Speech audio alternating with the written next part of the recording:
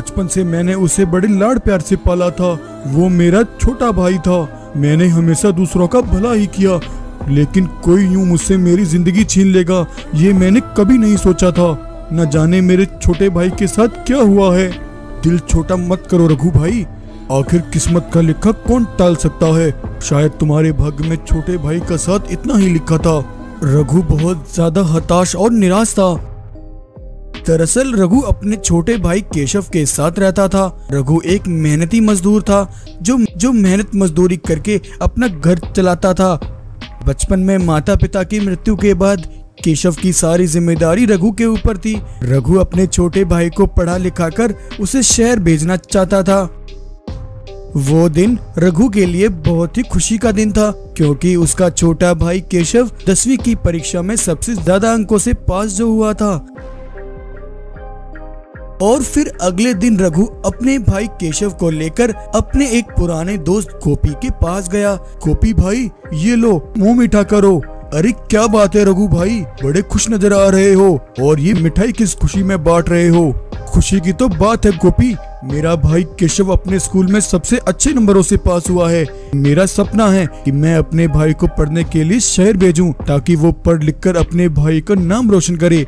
देखना, मेरा भाई बहुत बड़ा नाम करेगा और जल्द हमारी ये गरीबी के दिन दूर हो जाएँगे।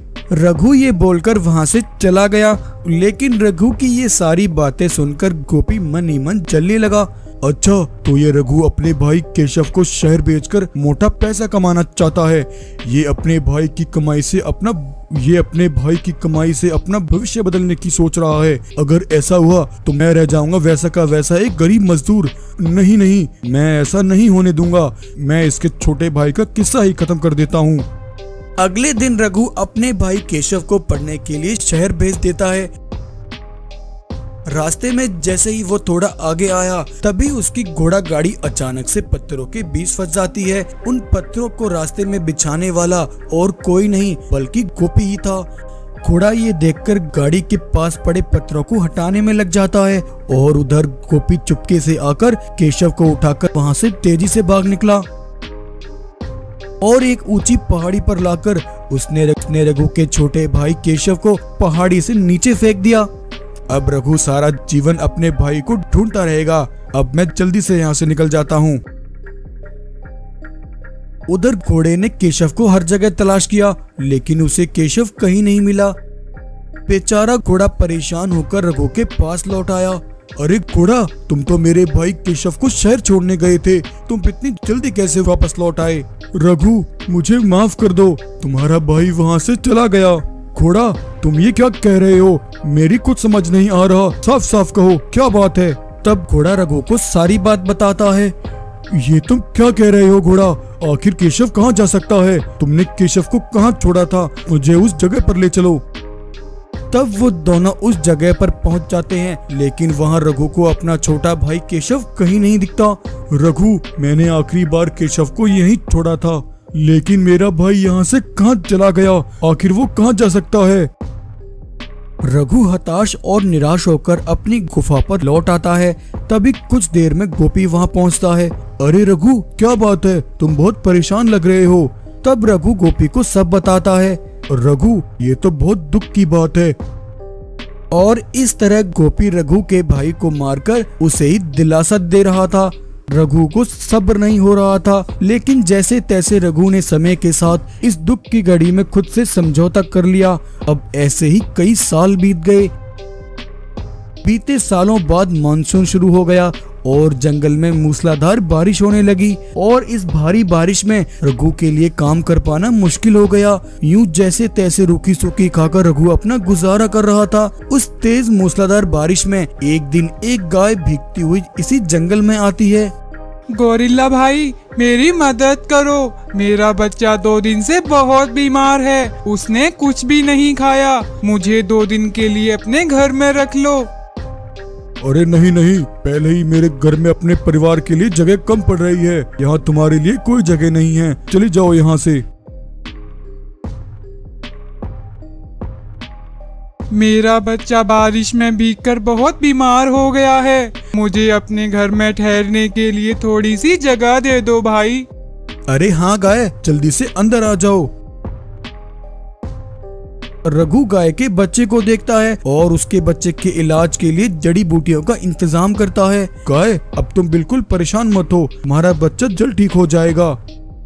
शुक्रिया शेर भाई। इस मुसीबत की घड़ी में तुमने अपने घर में मुझे जगह देकर मेरी बच्चे की जान बचाई। कोई बात नहीं गाय। मुसीबत में हमें सबकी मदद करनी चाहिए। शेर भाई क्या तुम यहाँ अकेले रहते हो? तुम्हारा परिवार कहाँ है? क्या बताऊँ गाय बहन? मेरा परिवार तो मेरा छोटा भाई था जो आज से पंद्रह साल पहले मुझसे बिछड़ गया। शेर भाई तुम्हारे भाई के साथ आखिर ऐसा क्या हुआ था? तब रघु गाय को सारी बात बताता है कैसे उसका छोटा भाई केशव उससे बिछड़ गया। शेर भाई फिर तो तुम खुशियाँ मनाओ क्योंकि मेरे घर में जो सफ़ेद शेर है वो हो ना हो तुम्हारा ही छोटा भाई है। मैं एक दिन जब मैं एक दिन जब अपने बच्चे के लिए भोजन लेकर आ रही थी, तब मैंने पहाड़ी से इसे नीचे गिरते हुए देखा। उसके पूरे शरीर से खून बह रहा था। जब मैंने ऊपर की ओर देखा तो वहाँ बिल्कुल तुम्हारी कदकाठी का एक शेर खड़ा था। मैं तुम्हारे भाई को अपने साथ ले गई और उसका अच्छे से इलाज किया और अपने बच्चे के साथ उसे भी पाला। कहे इसका मतलब मेरा भाई ज़िंदा है। कहाँ है मेरा भाई? मुझे अपने भाई से अभी मिलना है। तब गाय केशव को रघु के पास ले आती है। रघु अपने छोटे भाई केशव से मिलकर बहुत खुश होता है। मेरे भाई, तुम आ गए। तुम ज़िंदा हो। मैंने बरसों तुम्हारा इंतज़ार किया। आज भगवान ने हमें फिर से मिला दिया। गाय बहन, मैं तुम्हारा जितना शुक्रिया करूँ, उतना कम है। तुमने मुझे मेरी जीने की उम्मीद लौटा दी। तभी इतने में गोपी वहाँ आता है। गाय गोपी को देखकर उसे पहचान लेती है। रघु ये तो वही शेर है जिसने तुम्हारे भाई को उस दिन पहाड़ी से नीचे फेंक दिया था। क्या इसका मतलब ये सब गोपी ने किया था? और रघु भाई क्या चल रहा है? क्या तुम अभी तक अपने भाई के गम में डूबे हो? धोखेबाज गोपी, मुझे सब पता चल चुका है। तूने मेरे भाई को मारने की कोशिश की और इतने सालों तक तू मुझे झूठा दिलासा देता रहा। लेकिन धोखेबाज पापी, तेरे लिए एक बुरी खबर है। ये जो तू अपने सामने सफ़ेद से देख रहा है, ये मेरा वही छोटा भाई केशव है। मेरा भाई ज़िंदा है। गोपी ने जब केशव को देखा तो वो हक्का बक्का रह गया। उसे अपनी आँखों पर विश्वास नहीं हुआ। और इतने में रघु गोपी पर जोरदार हमला करता है और उसे वही जान से मार देता है। और इस तरह आज बरसों बाद रघु और केशव दोनों भाई फिर से मिल जाते हैं। तो ये कहानी आपको कैसी लगी? अगर कहानी पसंद आई हो तो वीडियो को लाइक करें और ऐसी ही मज़ेदार कहानियाँ देखने के लिए चैनल को सब्सक्राइब करें।